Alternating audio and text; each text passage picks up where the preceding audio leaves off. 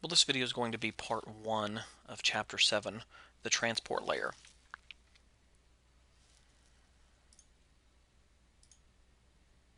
So in this chapter, we're going to look at transport layer protocols and TCP and UDP as part of the overall TCP IP protocol. So the objectives here, I'm going to leave, just leave this up on the screen. I'm not going to read them to you other than to know that we're going to cover TCP and UDP. We're also going to talk about the transport layer. So the role of the transport layer is to transport data between applications on devices in the network. So when we uh, are trying to get information across the application layer, this is the TCP IP model, not the OSI model. So you have your application layer. Eh, the transportation layer works between the application layer and the internet layer on the TCP IP model. The role of that transport layer is responsible for establishing a temporary communication session if you have a connection oriented protocol and deliver the data between them. TCP/IP uses two protocols to achieve that: Transmission Control Protocol, or TCP, and User Datagram Protocol, UDP. You need to be real familiar with both of these. Uh, on the Network Plus, you need to be familiar with it. For the uh, CCNA, you're going to need to know these, uh, memorize what these are and what they do, and the characteristics of them. The responsibilities of the transport layer protocols are to track individual communications between applications, segment data, and we'll talk about segmenting data here in a, in a minute, on the manageability and reassembling segmented data into streams of application data, and identifying the proper application for each communication stream. So when we are sending data, what the transport layer allows us to do is segment the data. We segment the data out so that we can send uh, or do what we call multiplexing. We can send multiple segments at the same time. What does that mean? That means that we can have email open and we can be sending an email at the same time we're sending an instant message to somebody. We could have just pulled some web pages open, logged into a website. Uh, we could be on a conference call at the same time and streaming video to our desktop.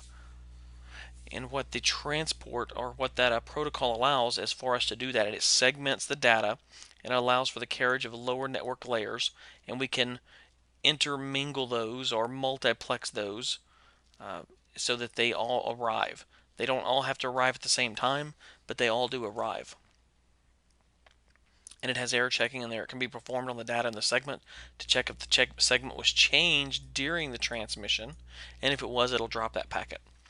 They both provide the means to send and receive data when running multiple applications, and the header is added to each segment to identify it. The transport layer reliability, uh, different applications have different reliability requirements. TCP/IP provides two layer protocols, TCP and UDP, and the transmission control protocol provides reliable delivery. So you need to know, you just need to memorize that TCP is your reliable delivery service. UDP is not reliable. It's um, and we'll talk about why here in a second. Uh, but it, but it's not reliable. It ensures that all of the data arrives at the destination for TCP. TCP also acknowledges delivery and other processes to ensure your package arrive. Consider, think if you're going to mail a package across the uh, to someone across the United States. If you went to the post office you put your um, your addressing on there, you paid, and but you told them that you wanted a tracking. Uh, you, you wanted to make sure that you were tracking that package, and you wanted to get uh, text messages uh, along the route. And anywhere along the route, or during the time that it's being delivered, you could pull up on the internet, or you could get text messages to say, okay, it's it's in St. Louis now. Now it's in Colorado. Now it's in California. It's going to give you that uh, delivery, and then when it gets delivered, you get a notice that it's been delivered but it makes demands on the network so it has more overhead because it does send more packets if you're if you're sending sending um, uh, a request for information you get an acknowledgement back and then you send and say okay I got your acknowledgement now I'm ready to send some data that's that's that's three responses where UDP is not reliable, it's not connection oriented, uh, it just has the basic functions for delivery, no reliability, but it has a lot less overhead.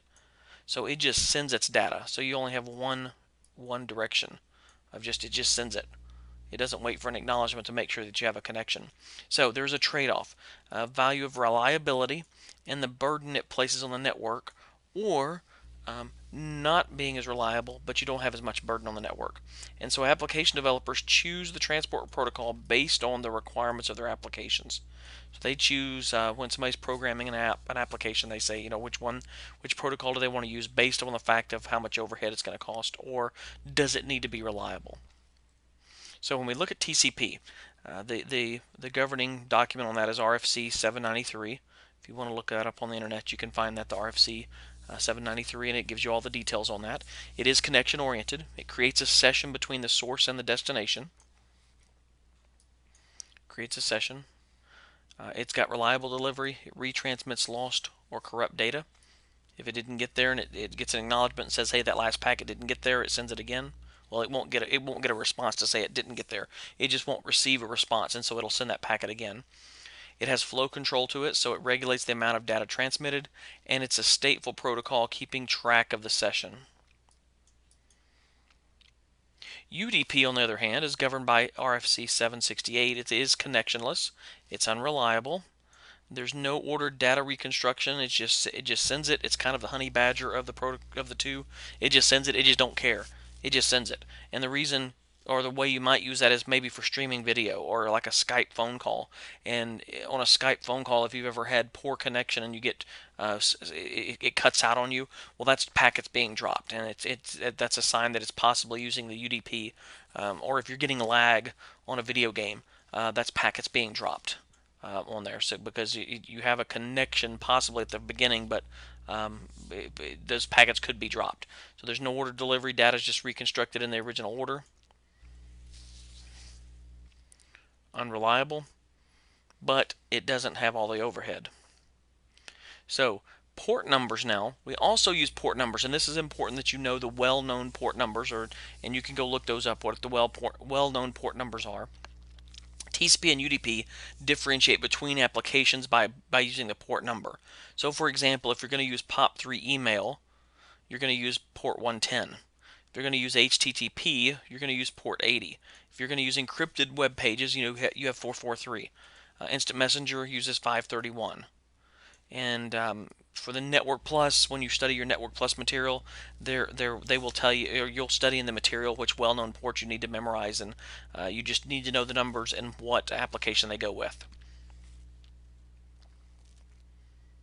So when we're sending um, information, TCP and UDP port addressing, and this FTP connection up here we have our destination MAC and source MAC we're on the same network so we don't uh, at that at, on the MAC level. But then we have our destination IP source IP and then we have our destination port and our source port. My computer as it's sending says hey my my outbound port or my, my port that you're going to return on or my port's 1305 I'm trying to reach port 21 on this IP address. And when you send me my response back to 1.5, use port 1305. And then on, on a web connection, it'll be port 80, and it might open up port 1099 for a return or for the source.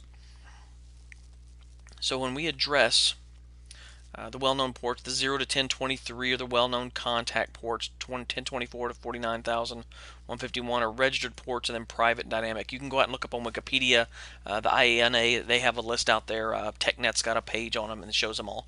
Uh, these are some of the common ones here.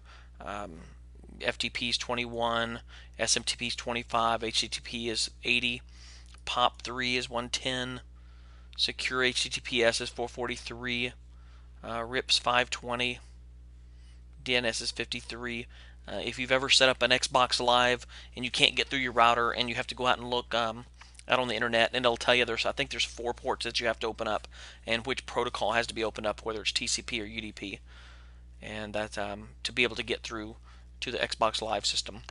When you run the netstat on your computer, if you go into your command line and, and run netstat, you will see all of the uh, basically a table um, of, of active um, ports. You're only going to see the TCP, and you're only going to see TCP because UDP doesn't keep a connection.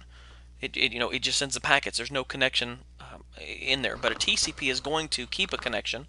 It's going to show your local address. It's going to show your port numbers.